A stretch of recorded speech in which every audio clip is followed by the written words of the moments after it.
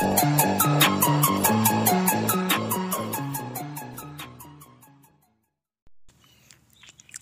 ขอสวัสดีนัก DIY ทุกท่านนะครับ คลิปนี้ก็จะมาสอนทำเครื่องขัดนะครับ ด้วยมอเตอร์เครื่องบินแล้วก็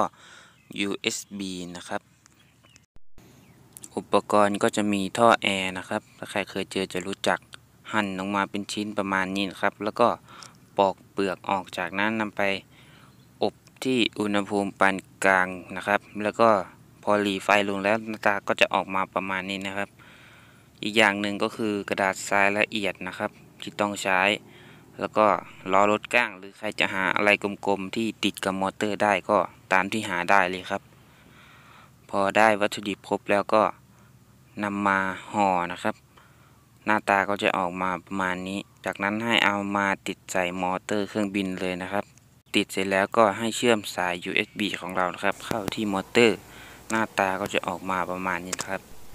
แค่นี้ก็เป็นอันใช้การได้แล้วนะครับ หรือถ้าใครบอกว่ามันจะง่ายเกินไปไหมนะครับ ผมก็มีอีกเวอร์ชั่นหนึ่งนะครับ คือเพิ่มอุปกรณ์เข้าไป คือสวิตช์ตัวต้านทาน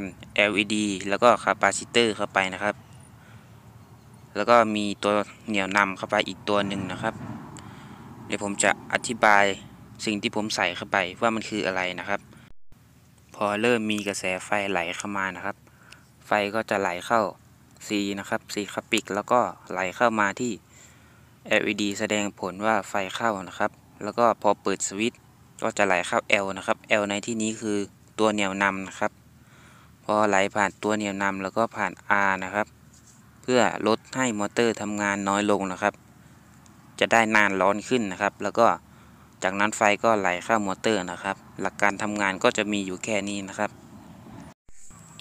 อันนี้คือเวอร์ชั่นแรกนะครับ เวลาเสียบปลั๊กจะใช้เวลาสักนิดหนึ่งนะครับในการสตาร์ทมอเตอร์